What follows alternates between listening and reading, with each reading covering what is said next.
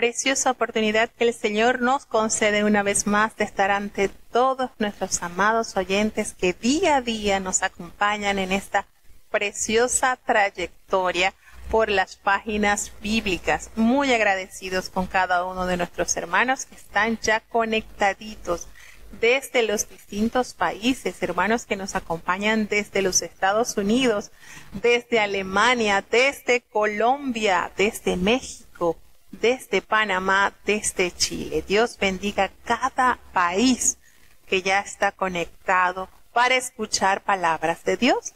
Vamos a tener entonces la oración de inicio. Vamos entonces a presentarnos a Dios en oración. Porque sin la asistencia del cielo nada podemos hacer, ni tampoco pretendemos hacer. Oremos. Bendito Padre Celestial, Dios de eterna bondad, de rica y de abundantes misericordias, ante tu divina presencia estamos, Señor. Te adoramos y te exaltamos porque solo tú eres digno de toda honra y de toda gloria. Señor, ¿a quién iremos? ¿A dónde iremos si solamente en ti hay palabras de vida eterna? Y nosotros hemos entendido, Señor, que tú eres el Cristo, nuestro amado Salvador. Perdona nuestros pecados, faltas, errores cometidos delante de ti, pues tu palabra nos revela que ante tu presencia no hay hombre que no peque, Señor. Y si tú nos miraras conforme a nuestros pecados, Señor, ninguna carne se salvara. Pero bendito sea tu amor que has demostrado para con cada uno de nosotros. Gracias, Señor, por esta oportunidad que una vez más concedes a tus hijos de reunirse usando este medio de comunicación para leer diariamente tu santa y bendita palabra. Señor, tú sabes cuánto necesita el hombre de ti, Señor. Y como nos revela el profeta Isaías, así, Señor, como desciende de los cielos la lluvia y la nieve y no vuelve allá, sino que harta la tierra y la hace germinar y producir y dar simiente al que siembra y pan al que come. Así, Señor, de esa magnitud, tu palabra que sale de tu boca no volverá a ti vacía, antes hará lo que tú quieras y será prosperada, Señor, en aquellos para quienes la has enviado. Señor, bendice los niños, Padre bueno, que desde su tierna edad puedan aprender a amarte, a obedecerte, que puedan crecer no solamente en tamaño, sino en sabiduría y temor santo en su corazón, Padre. Los jóvenes delante de ti están, Señor, que puedan ser jóvenes prudentes, sabios, apartados del mal, que huyan de las pasiones juveniles que acechan su alma. Ten piedad, consérvalos en santidad, en limpieza, Señor, porque esa es la demanda y ha sido la demanda todo el tiempo, Señor, que el joven limpie su camino con tu palabra, Padre bueno. Te presentamos los adultos, Señor, distintos compromisos adquiridos, pero necesitamos de tu dirección, Señor, de tu sabiduría, de tu temor para hacerlo todo como a ti te agrada, Señor. Los ancianos, ya, Padre bueno, muchos años trabajando para tu obra, bendíceles. Llénales de fe, Señor. Aún en la vejez, tu palabra nos enseña que estarán vigorosos, que estarán llenos de vida, Señor. Y nosotros confiamos en tus promesas, Señor. Los matrimonios, ayuda, Señor, que esta institución pueda permanecer por los tiempos como el símbolo, Dios mío, de que la familia ha sido tu proyecto. Ten piedad, Dios mío, y acompáñanos. Te presentamos los enfermos, Señor, cuántos afligidos por diversas adversidades de salud, Señor, dolor. Tú conoces, Señor, nada te es oculto, tú eres nuestro sanador. Todas nuestras dolencias, dice la palabra de Dios, que tú las sanas, Señor, por tu llaga fuimos nosotros curados. Ayúdanos a creer. Ayúdanos a ver tu poderosa mano obrar a favor de tus hijos. Ten misericordia, Señor, así como clamaba aquel ciego, Señor, Hijo de David, ten misericordia de mí, que hasta ti llegue ese clamor de cada hermano, de cada persona, Señor, que necesita ver en su vida un milagro más. No nos abandones, Señor, te necesitamos. En el nombre poderoso de Jesús te lo he suplicado y en él te doy las gracias. Amén. Bueno, ahora sí, vamos entonces a emprender los salmos que corresponden el día de hoy, cortitos, el Salmo 133 y 134, y 135, cortos, el Salmo 133 y el 134. Pero, cuán sustanciosos son. Vamos a escuchar atentamente para deleitarnos en su palabra. Salmo capítulo 133. Mirad cuán bueno y cuán delicioso es habitar los hermanos igualmente en uno. Es como el buen óleo sobre la cabeza, el cual desciende sobre la barba, la barba de Aarón, y que baja hasta el borde de sus vestiduras, como el rocío de Hermón, que desciende sobre los montes de Sión, porque allí envía Jehová bendición y vida eterna cortitos, breve, pero cuán hermoso son estos salmos, cuánta bendición.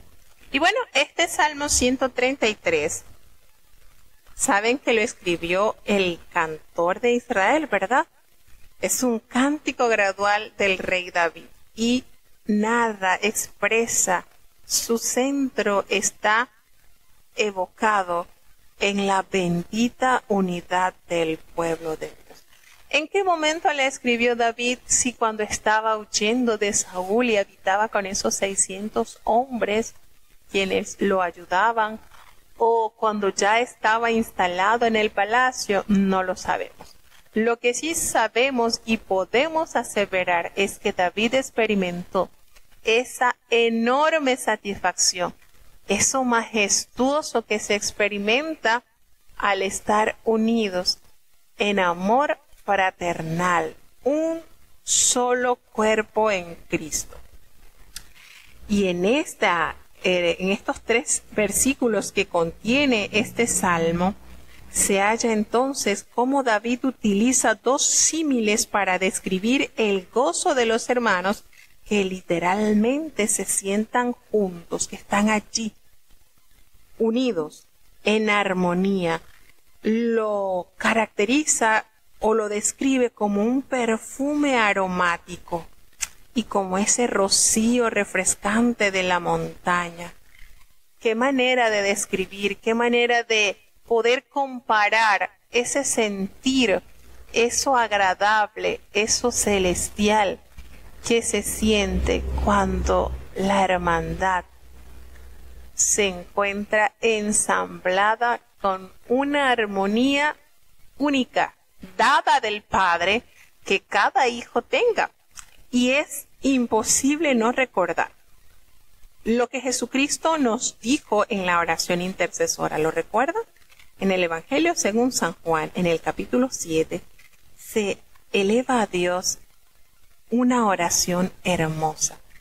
Y Jesucristo, en esta oración, descrita por el evangelista Juan, el único que describe esta oración perfecta, en el versículo 23 dice así, yo en ellos y tú en mí, para que sean consumadamente una cosa, que el mundo conozca que tú me enviaste y que los has amado como también a mí me has amado. Que el Señor nos bendiga a través de su santa y bendita palabra. Nótese cómo David usa estas similitudes para referirse a los resultados gratificantes que ejerce la unión entre los hermanos, en los hermanos en la fe, los hermanos carnales. Es, exclama, llama la atención, mirad cuán bueno y cuán delicioso es habitar los hermanos juntos en armonía. Cuán delicioso es para Dios ver a sus hijos unidos, compartir en un solo sentir la dicha de vivir para Él, de haber sido adoptados por el mismo Padre.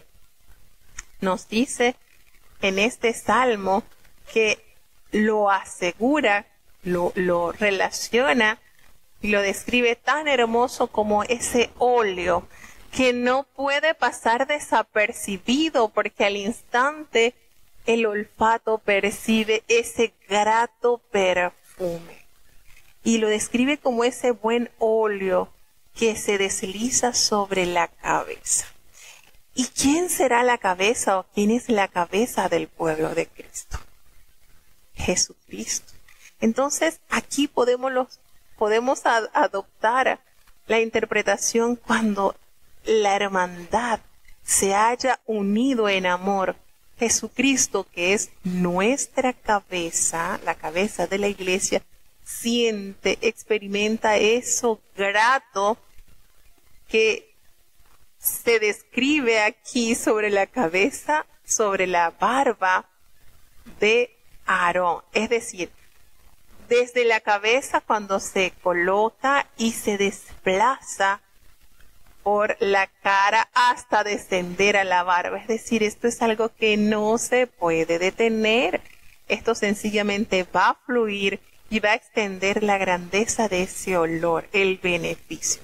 Entonces, imaginémonos a nosotros, nuestra cabeza Jesucristo, al contemplar la unidad, lo maravilloso que es amarnos mutuamente y el poder percibir esa grata sensación, ese perfume tan grato en su rostro, en su cabeza, en su barba.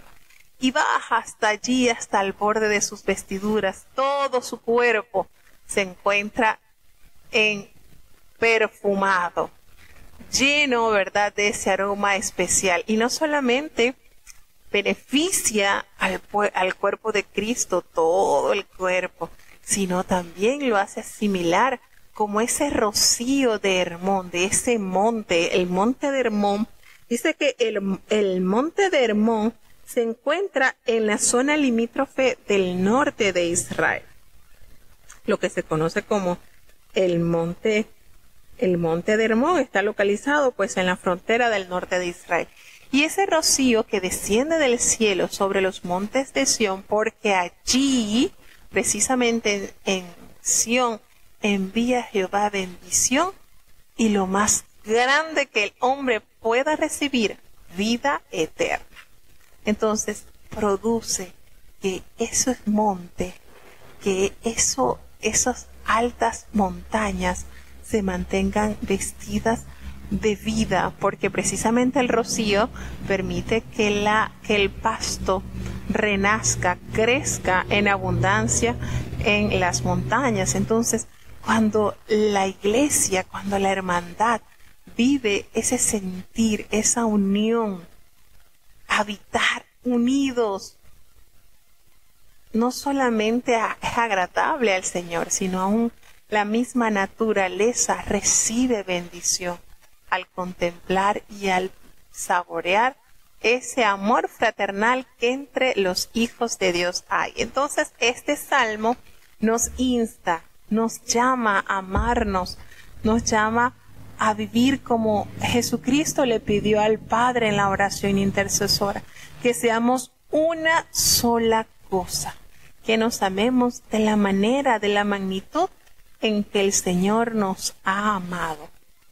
Donde hay amor, no hay espacio para el enojo ni para el rencor, porque el amor hinche todo sentimiento y no hay espacio para nada de esas, esos argumentos y esas malicias que el enemigo trata de minar en el corazón de la hermandad. Y voy a hacer un pequeño paréntesis acá, haciendo referencia a esto, cuán importante es que usted vea a su hermano y lo vea de la manera que Cristo lo ve. Un alma con un elevado valor. Cuando nosotros aprendemos a ver a nuestros hermanos así, no le vemos defectos, le vemos el alto precio que costó redimir su alma. Y recuerdo que hace un tiempo atrás, estando en Venezuela, compré un libro que me gustó, el título pues me gustó y lo leí. El título del libro es de sacerdote del diablo a ministro de Dios. Así se titula el libro. Y me llamó la atención y lo compré.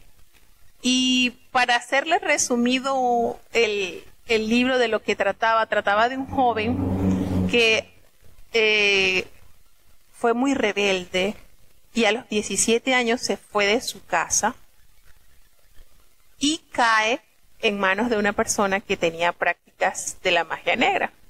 Este lo instruye y lo lleva a que, a que haga pacto con Satanás. Allí en Venezuela hay unas montañas que se llaman las montañas de María Leonza. Esas son unas montañas donde allí se practican y se hacen cultos a Satanás de un nivel, bueno, eh, muy, muy elevado.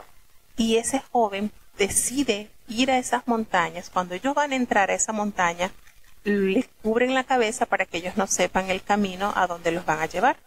Y en ese, en ese lugar ellos hacen el pacto con el diablo. Él hizo el pacto temporal, porque está el pacto temporal y el pacto eh, definitivo. Junto con él hicieron el pacto dos mujeres más. Esas mujeres hicieron el pacto definitivo, él no, él lo hizo temporal. Resulta que a las dos semanas eh, esas mujeres murieron en un accidente, perdieron sus almas. Él no. Él comenzó a ver cómo el poder que el diablo le había asignado ejercía cada vez más en él.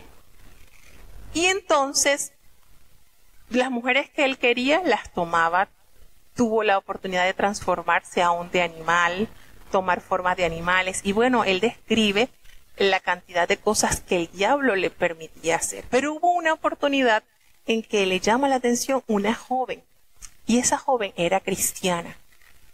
Y, ahí fue donde él comenzó a darse cuenta que Satanás no tenía el poder absoluto como él se lo había hecho pensar, porque él llegaba hasta cierta distancia donde estaba ella y de allí él no podía avanzar, él se congelaba. Ella le hablaba y él al instante quedaba así congelado, paralizado. Y viendo esa limitación que él tuvo con esa muchacha, él habla con el diablo y le dice que por qué, que por qué él no se puede acercar a ella, si ya él estaba acostumbrado a tener todas las mujeres que él quisiera y hacía cuantas cosas atroces. Y él le dice, mira, eh, ella ora en las madrugadas. Ella es una persona que ora mucho. Y entonces le dice, mira, dame tres meses que yo la meta a ella en discordia, en pelea entre los hermanos. Fíjense, entonces hago la asociación de este relato que lo leí, eh, este libro lo escribió el, el muchacho, pues por eso se titula así, de sacerdote del diablo a ministro de Dios, porque él allí narra ese periodo de oscuridad que él vivió y luego cómo Dios lo sacó de ese mundo a través de esa muchacha, a través de esa muchacha. Entonces, eh, a donde quería llegar haciendo énfasis en este salmo es cuando nosotros entramos en discordia con nuestros hermanos en la fe, con nuestros hermanos, estamos expuestos a que el enemigo haga con nosotros lo que sea. Por eso el diablo le dijo a él, al, muchacho, dame tres meses que yo meta discordia con ella eh, allí entre sus hermanos en la fe, para que las defensas que el Señor levanta sobre sus hijos entonces caigan y quedamos expuestos. Entonces es de gran importancia que haya esa unión, ese amor fraternal, que nos gocemos, como dice el apóstol Pablo, que nos gocemos con aquellos que se gozan y que lloremos con aquellos que lloran, que seamos eso, una sola cosa, como Jesucristo se lo pidió en oración a su Padre. Entonces es de suma importancia, es de suma importancia que en nosotros haya esa necesidad de vivir una vida santa, llena de amor. Porque si nosotros tenemos esas cosas que, que, eh, que producen eh, cosas que se van generando con pequeñeces y cuando venimos a ver ya no queremos ver la cara del rostro de esa persona, solamente el escuchar la voz se nos descompone la mañana, o si estamos en un lugar y llega esa persona ya nos queremos ir porque ya se nos arruinó el día. Entonces allí no hay armonía con nosotros y Dios. Entonces hay que considerar muchísimo esta gran verdad que el Señor nos revela a través de este hermoso salmo, precioso salmo, que al ponerlo nosotros en práctica va a haber mucha bendición para nuestras vidas, para la vida de nuestros hermanos, aún el mundo podrá ver ese, eso diferente, porque precisamente el sello del discipulado es el amor.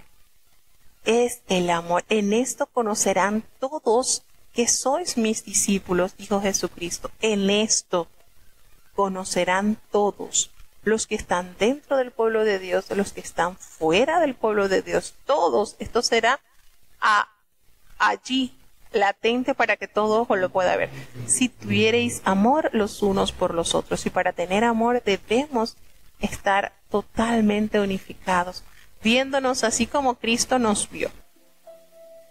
Salmo capítulo 134. Mirad, bendecid a Jehová, vosotros todos los siervos de Jehová, los que en la casa de Jehová estáis por las noches. Alzad vuestras manos al santuario y bendecid a Jehová. Bendígate Jehová desde Sión, el cual ha hecho los cielos y la tierra.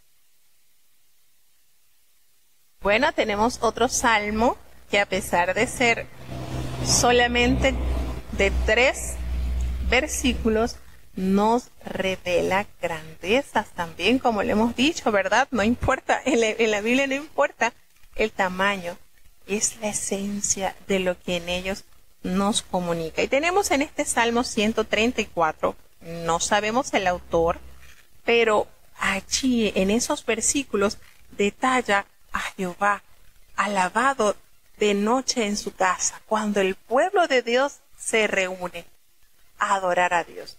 Bendecida Jehová vosotros todos, los siervos de Jehová, todos, que no se quede uno sin exaltar la grandeza y la pureza de su amor. Allí los que en la casa de Jehová estáis por la noche. Qué manera, ¿verdad? De determinar el tiempo que nosotros invertimos para Dios. A veces nos ataca el cansancio, a veces nos atacan los compromisos, pero qué hermoso nos detalla este salmo que aquellos que están en la casa de Jehová allí por las noches, alzad vuestras manos al santuario y bendecida a Jehová.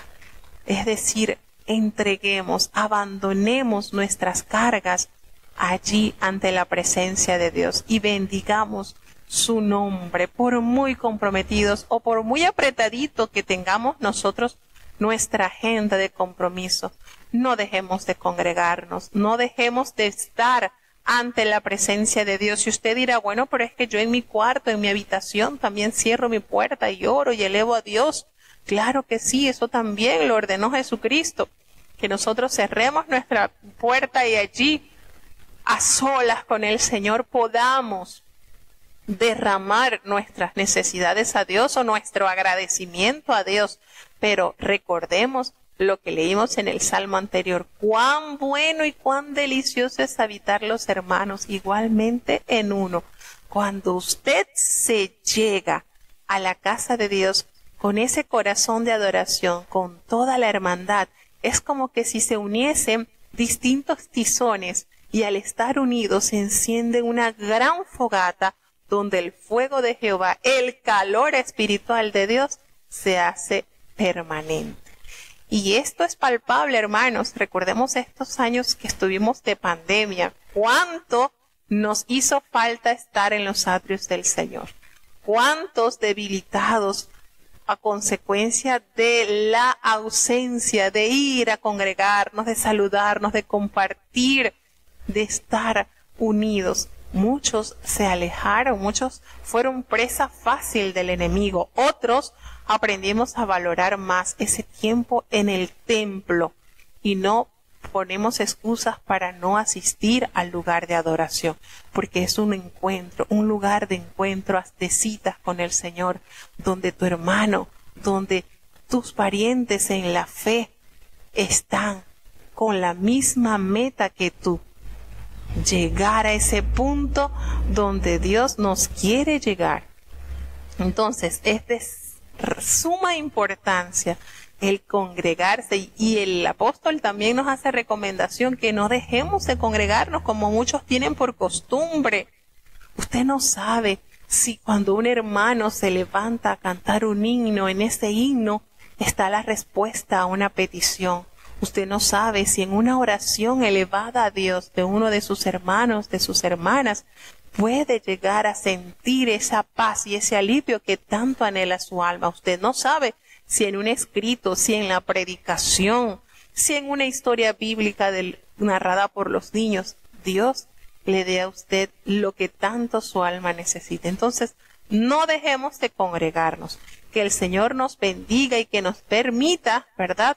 Mantenernos siempre obedientes a su voluntad. Y cierra este salmo al referirse, de Jehová desde Sión. Allí porque el Señor ha hecho los cielos y la tierra, la majestad de Dios. Cuánta grandeza, cuánta grandeza en la obra hecha de nuestro amado Dios, alzando vuestras manos, la manera en que nosotros podemos muchas veces derramar nuestras cargas, soltar nuestras cargas. Y esto pues, este Salmo 134 este Salmo 134 ya es el último de los cánticos graduales. Cierra acertadamente con la bendición de los peregrinos que han viajado a Jerusalén para las fiestas. La bendición completada totalmente se halla en el libro de números en el capítulo 6 del versículo 24 al 27. Jehová te bendiga. Jehová te bendiga. Cuando usted entiende lo maravilloso y lo que aumenta sus fuerzas, el estar en el santuario, en el lugar de Dios, hermanos, usted no va a hallar excusas para no asistir. Hay un pensamiento que, a mí se me ha quedado mucho, y yo se lo hago referencia mucho a mis niños, y les digo, el que quiere hacer algo, busca oportunidades, y el que no quiere hacer algo, busca excusas. ¿De qué lado está usted? ¿Del que busca oportunidades o del que busca excusas? Si usted desea, anhela, quiere asistir a la casa de Dios, usted va a buscar oportunidades. Pero si usted no quiere, no desea ir a la casa de Dios, usted va a valerse de excusas. Entonces, ¿de qué lado está usted? Entonces, no dejemos de congregarnos. Admiremos la grandeza de Dios. Vuelvo y repito. No mire al hombre, mire a Dios. Y es nuestra mayor recompensa es saber que Dios conoce, Dios conoce las necesidades de sus hijos. Mucho, mire que Anna, solamente por saber las situaciones que ocurrían en el templo debido a todo el pecado de los hijos de Eli, jamás hubiese decidido dejar a su hijo allí en el templo ¿verdad que Anna podía tener bastantes excusas válidas para no dejar a su hijo allí en el templo ante semejante atrocidad que hacían los hijos de Eli? Sin embargo, ella sabía lo que le había prometido a Dios y que en el templo de Jehová, Jehová es el administrador. Entonces, no seamos insensatos e imprudentes, seamos sabios y entendidos y busquemos siempre la presencia de Dios. Seguimos avanzando ya al siguiente salmo, 135. Escuchemos. Salmo capítulo 135. Alabad el nombre de Jehová. Alabadle siervos de Jehová.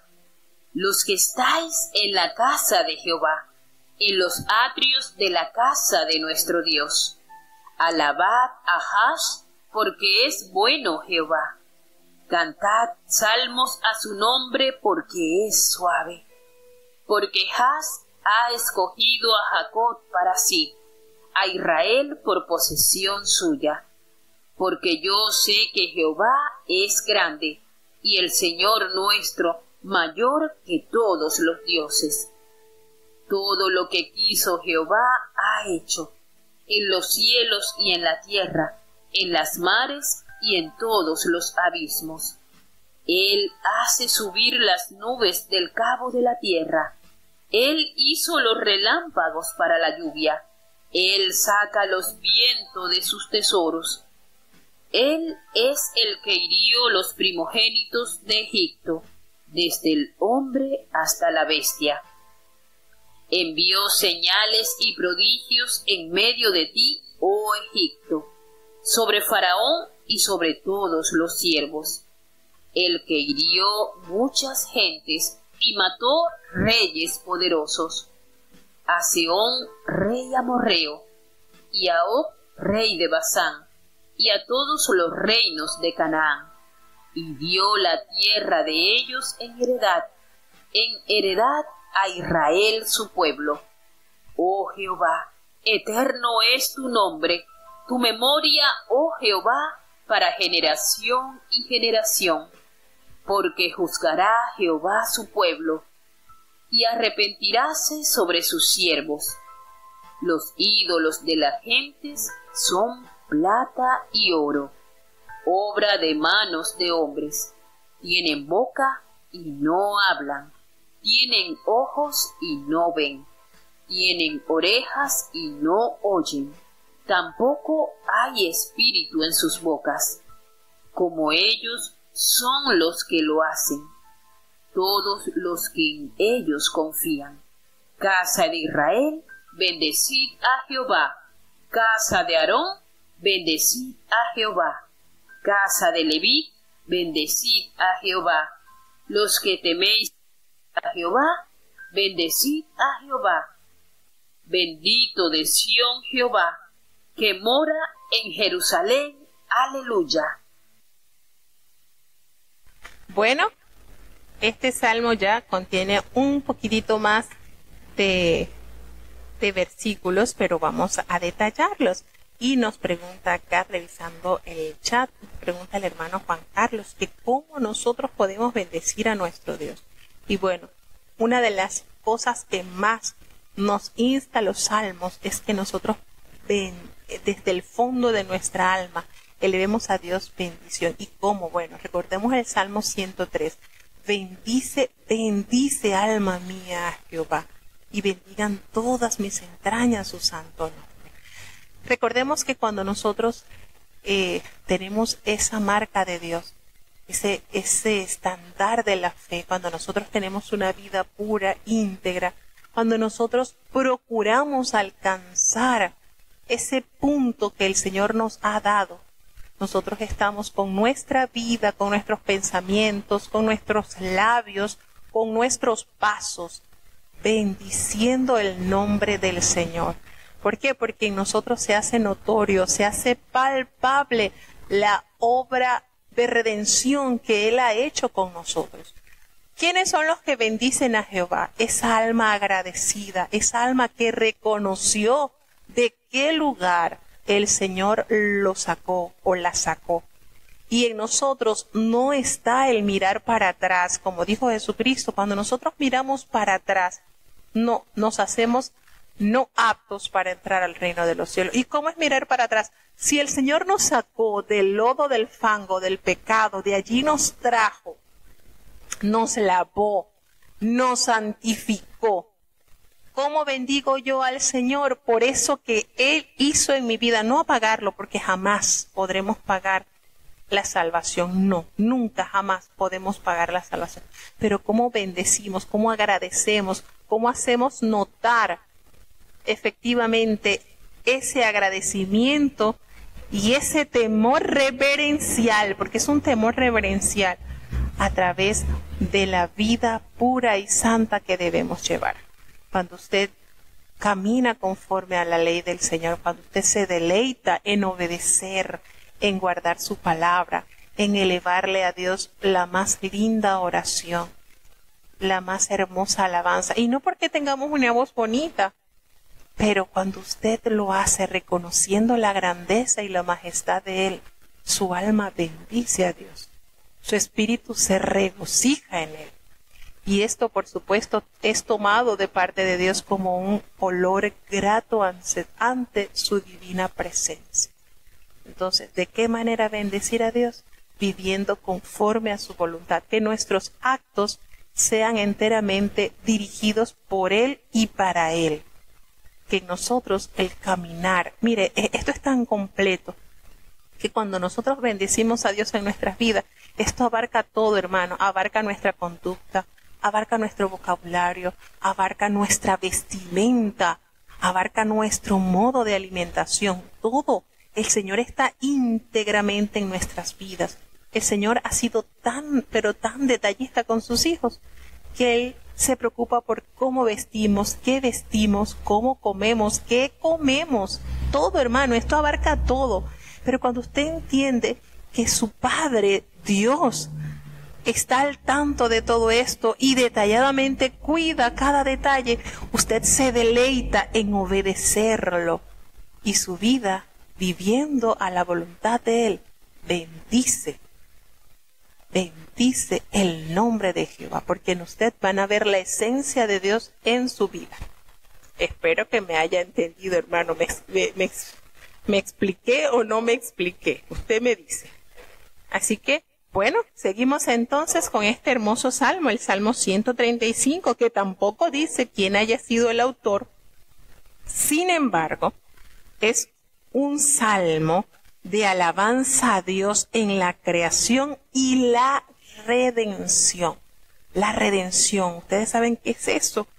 Redimir, pagar un precio para obtener algo. El Señor pagó el más alto precio para redimir nuestras almas.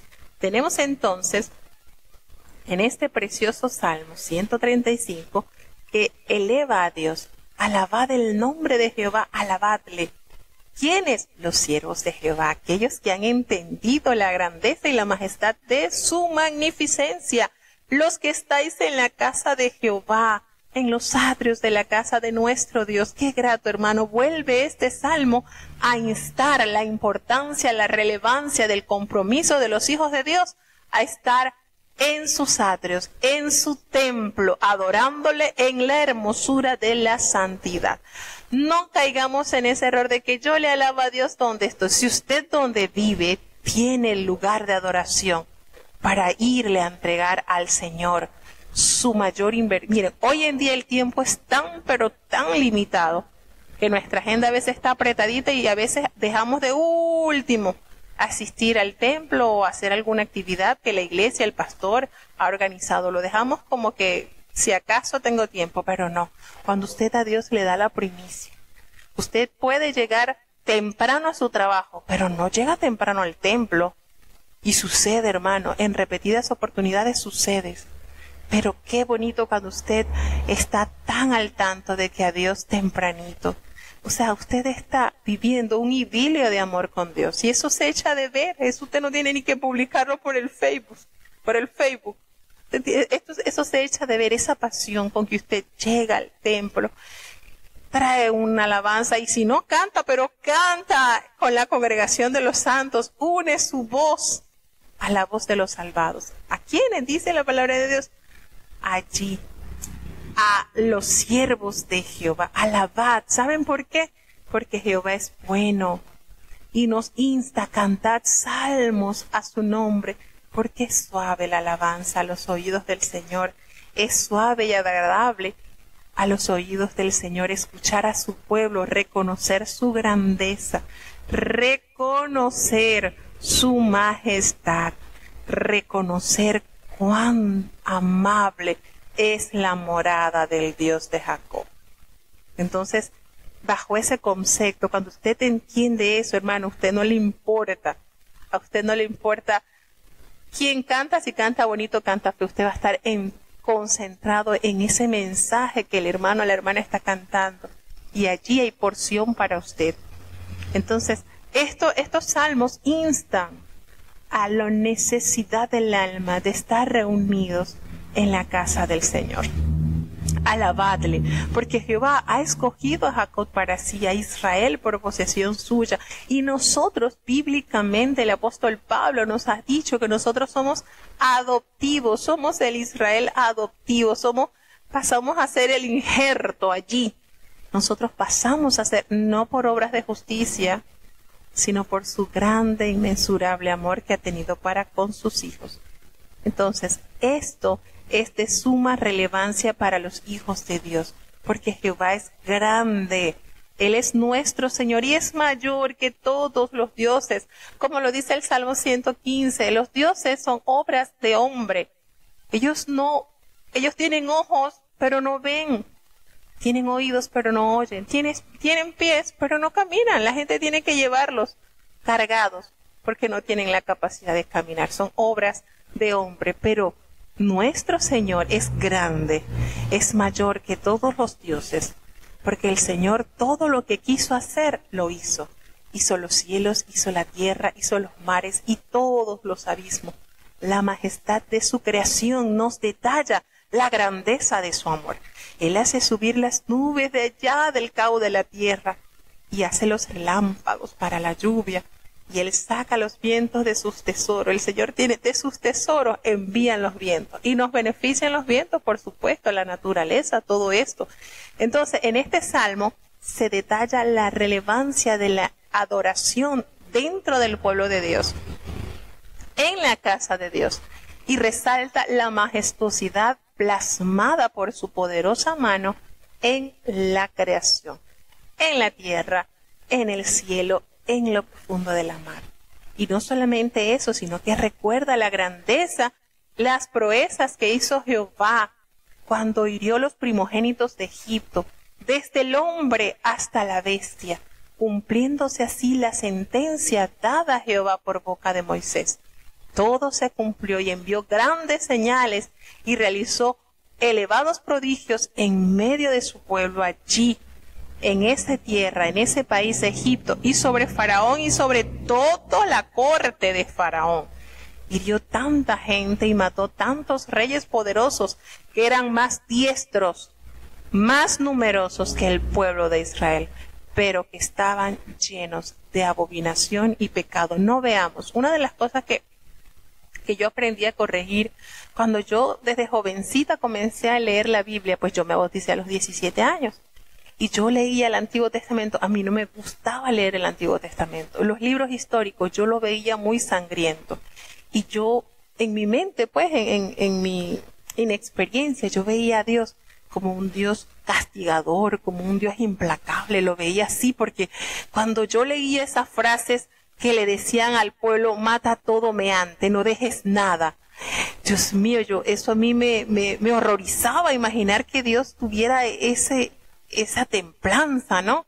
Pero a medida que fui leyendo, el Señor me fue abriendo un poquito más el entendimiento y comprendí que Dios aborrece, abobina el pecado. Y después empecé a detallar esos versículos en los cuales Él decía la razón por la que esa gente iba a ser exterminada, porque el pecado había sido tan grande que había subido a las alturas. Es decir, llegó a un límite, pero tan, tan fuerte que no tocó otra cosa que raer.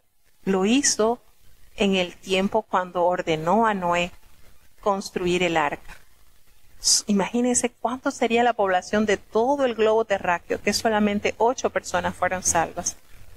El resto toda pereció ahogado. Entonces el Señor aborrece el pecado. ¿Qué pasaron con estas ciudades?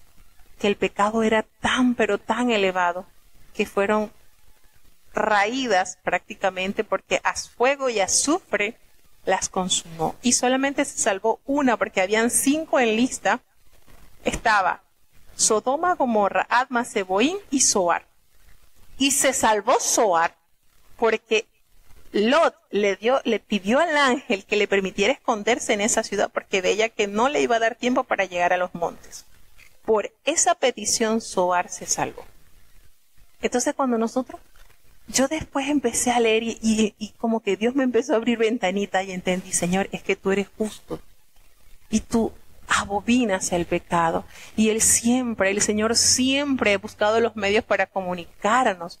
Y lo podemos palpar. Él se preocupó por aquella gran ciudad Nínive, capital de Asiria. Era un, un pueblo malo y sin embargo allá envió a su profeta porque ya estaba el hacha puesta sobre la raíz de ese árbol. Sin embargo, la misericordia de Dios fue con esa ciudad y le envió al profeta, pese a que el profeta jamás tenía la disposición y la buena voluntad de asistir, el Señor entra en conflicto con, con, Jonás, porque Jonás conocía tanto el amor de Dios que en su capacidad decía, si yo les digo a esta gente que los va a, a, destruir Jehová y se arrepienten, Jehová es tan bueno que los va a perdonar. Y eso era lo que se resistía y eso era el temor de Jonás. Porque precisamente ese pueblo había, eh, le había hecho mucho daño al pueblo de Israel. Claro, Israel no estaba caminando con la ordenanza del Señor.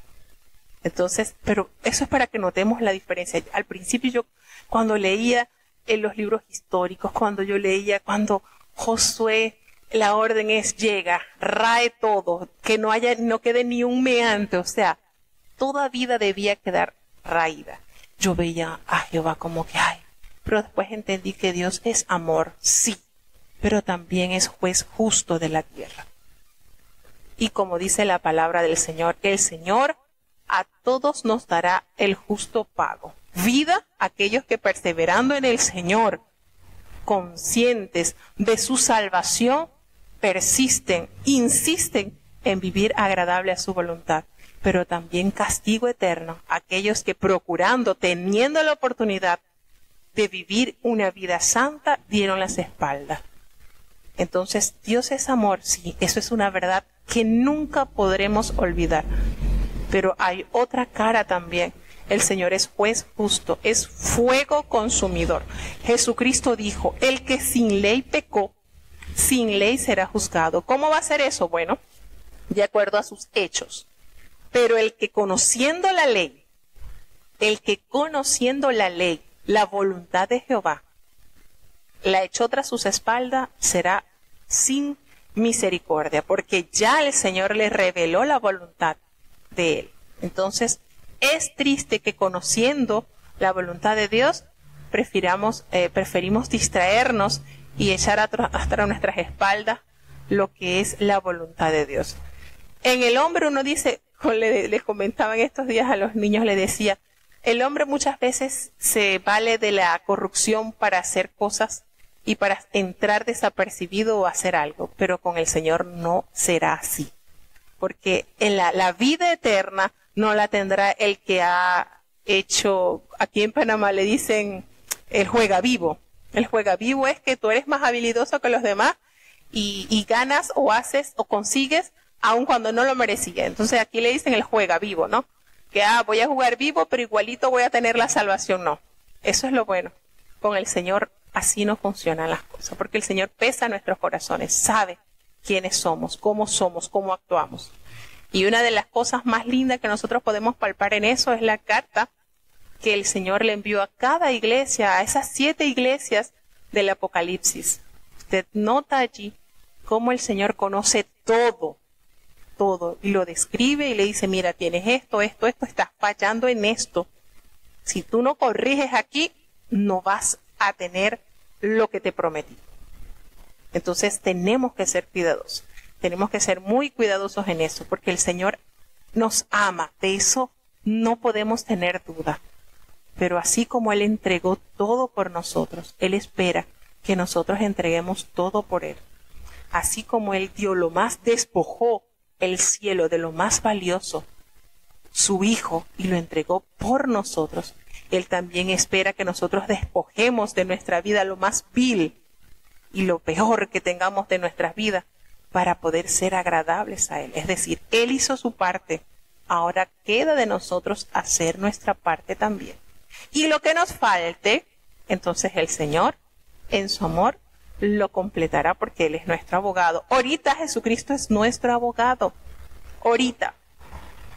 Ahorita es nuestro abogado, quien nos defiende, quien está intercediendo por nosotros. Ahorita. Pero llegará el tiempo, cuando ya sea el final de los tiempos, que ya no será nuestro abogado. Será entonces, entrará nuestro juez. ¿Y quién podrá mantenerse en pie, hermanos? Entonces, hay que meditar mucho en esto. Hay que meditar mucho en esto. En este salmo, él hace, él hace un recordari, un recordatorio de las grandezas que hizo Jehová en medio de su pueblo, como a Seón, el rey de los amorreos, como a Og, rey de Basán, y todos los reinos que ocupaban Canaán fueron despojados de todas esas tierras por su pecado, no porque el Señor haya sido injusto y ellos vivían conforme a la voluntad de Dios, pero le cayó bien Israel, entonces lo sacó a ellos y ubicó a Israel. No, el Señor no funciona así. Ellos fueron perversos. Estos habitantes de los cuales Dios los despojó utilizando, usó de herramienta a Israel para limpiar la tierra. Pero no fue que Dios ay, que agarró y desocupó la tierra, estos pobres habitantes que eran buenos, que eran bondadosos. No, eso no fue así. El Señor sabe y pesa los corazones. Esta gente que habitaba allí en Canaán llegaron a tantos niveles de maldad. El Señor decide limpiar la tierra y usa a Israel como el instrumento para limpiar la tierra de esos pecados. Y le dio entonces en herencia la tierra a los israelitas. Sin embargo, los israelitas también cayeron en pecado. Hicieron prácticas y abominaciones que ya también hacían esta gente. Llegaron a pasar sus hijos por fuego, llegaron a adorar cuanta cosa, llegaron a tener perversidades sodomitas dentro del templo de Jehová. Lo dice la palabra de Dios. ¿Y cuál fue el pago también a los israelitas? También fueron sacados de la tierra. ¿Por qué? Porque Dios cumple lo que promete y por boca de Moisés le había detallado al pueblo de Israel qué sucedía si ellos fielmente guardaban el pacto con su Dios o liberalmente lo quebrantaban. Y el Señor es un caballero tan transparente que antes de firmar contrato él le lee a usted las cláusulas una a una y ninguna deja por fuera. Se las lee detalladamente para que usted esté anuente lo que está haciendo. Y así lo hizo el Señor. Precioso, nuestro Dios es un caballero hermoso, legal, transparente. Sucedió, ellos quebrantaron el pacto, el Señor con mucho amor y mucha misericordia los castigó, 70 años estuvieron en el exilio, regresan como el Señor se los prometió y luego ellos vuelven entonces a ser en el año 135 después de Cristo, los judíos salen de Palestina y lo que se conoce pues como la diáspora. Y más de 1800 años estuvo el pueblo de Israel sin un territorio, estuvieron por distintas naciones como Jehová lo había pronunciado por boca de Moisés. Ustedes saben qué milagro tan grande es esto, que una nación haya estado por más de 1800 años errantes por distintas naciones y hayan mantenido su cultura. Esto es un milagro, hermanos. De verdad, esto es. O sea, cuando uno empieza a leer sobre lo que Dios en este pueblo ha hecho, Israel, el pueblo de Israel es la evidencia más palpable que los cristianos tenemos de la existencia de Dios. Esto es hermoso. Conocer de esto es hermoso. Uno cae postrado a los pies del Señor y Señor, tu, palabra es tan fiel, tu palabra es tan verdadera que es escudo. La palabra de Dios es escudo. Cuando usted se apodera de ese escudo, hermano, los dardos que le arroja el enemigo no le van a herir. Porque cuando el enemigo venga a decirle, a, susurrarle, mire, la palabra de Dios lo protege. Y qué hermoso es cuando usted se deleita en conocer la palabra de Dios. Entonces hay grandeza en ver a Dios a través de su palabra. Hermoso. Este salmo le recuerda al pueblo todo lo que lo que él había hecho con sus, hijos. Eh, Jehová Eterno es tu nombre, es tu nombre eterno, tu memoria, Jehová, es para generación y generación, porque tú juzgarás a tu pueblo. Y es una verdad, el Señor es juez justo de la tierra. Él es fiel, su palabra es eterna, tiene cumplimiento. Debemos acercarnos a Él confiados. El Señor cumple, hermano, cumple con su galardón, pero también cumple con su sanción. Ejemplo, el pueblo de Israel. Ejemplo, el pueblo de Israel. Es su heredad, es su especial tesoro, es su pueblo singular. Pero cuando se ha portado como no debe portarse, el Señor lo ha disciplinado. ¿Y usted cree que no hará con nosotros lo mismo si nosotros somos sus hijos y le amamos y Él nos ama? Lo va a hacer también. Entonces el Señor juzgará, Jehová es su pueblo, Él juzgará a su pueblo y arrepentiráse sobre sus siervos, porque Dios es un Dios de amor y misericordia, pero quiere de nosotros frutos, hermanos, frutos. Él no quiere ver un árbol frondoso solamente llenos de hoja, no, pura apariencia, pura fachada, no. El Señor no quiere eso. El Señor quiere cosechar frutos, lo más lindos, lo más ricos, los más saludables frutos quiere hallar en nosotros. Entonces, los ídolos de la gente, ¿qué son? Pues son metales, plata, oro, obras de mano de hombres. Eso es, recordando lo que nos dice el Salmo 115, ellos tienen boca pero no hablan, tienen ojos y no ven, tienen orejas pero no oyen, tampoco hay en ellos espíritu, no lo hay. Entonces, ¿por qué claudicar? Ahorita nosotros podemos decir, bueno, pero no, nosotros no tenemos un ídolo ni adoramos a nadie así. Hermano, ahorita podemos idolatrar, idolatrar nuestro carro, idolatrar nuestra casa, idolatrar nuestros hijos. Ahorita podemos eh, idolatrar, eh, ¿qué les puedo decir? Las vanidades. Hay tantas cosas que el enemigo sutilmente está acechando al pueblo de Dios para hacerlos caer en el pecado y hacerlos sentir que están caminando bien. Hay que estar muy apercibidos. Así que así como son ellos, son todos los que confían en los, ídolos. Entonces, ¿cuál es la demanda en este salmo? Casa de Israel. Bendecida Jehová. ¿Cómo lo van a bendecir? Obedeciendo, haciendo su voluntad. El Señor no quiere fachada.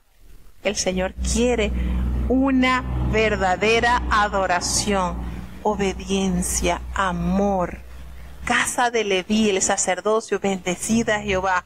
Los que teméis a Jehová, bendecida Jehová. Bendito de Sión, Jehová, que mora en Jerusalén. Aleluya, la más grande expresión de amor. El Señor quiere que su pueblo esté confiado en Él. Sus promesas son verdaderas, son eternas, entonces ¿por qué dudarlas? Hay tanto, hermano, de lo cual nosotros nos podemos deleitar. Hay tanto. Es impresionante de verdad cuando usted se, cuando usted se aferra a las cosas de Dios, cuando usted se afirma en hacer la voluntad de Dios, hermano, si hay algo que el enemigo le teme, le teme, es cuando usted rechaza la oferta de Él por estar lleno de Dios. Cuando usted conoce la voluntad de Dios y usted se aferra a eso, el enemigo, el enemigo, el enemigo saquea donde hay riqueza. Cuando usted lo ve así desordenado y vacío, ah, ya, ese es mío, listo, voy al otro. Pero cuando usted se afirma, cuando usted, usted sabe y le dice, Señor, tú, tú dijiste, pero qué lindo cuando nosotros, a Dios, Dios es un Dios de palabra, de palabra. Cuando usted dice, Señor, tú me dijiste, Me dijiste esto, esto, esto, y yo he confiado y yo he cumplido. Mire, el Señor tan bello, es eterno, es un caballero y cumple, hermano, cumple. Porque así, por medio de de la historia, nosotros podemos corroborar la grandeza de Dios, cómo cumple sus promesas. Así que bueno, hasta aquí llegamos entonces. Vamos a tener la oración de cierre.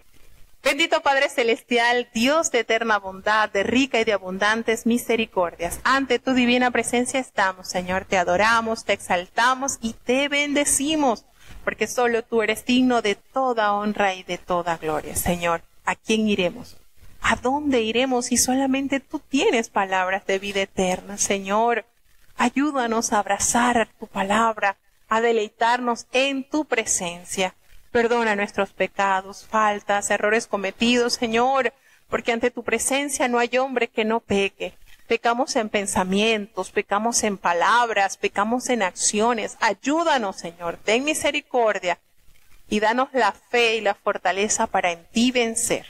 Gracias, oh Dios, por esta hora que nos has concedido estar con nuestros hermanos unidos en la lectura de tu palabra.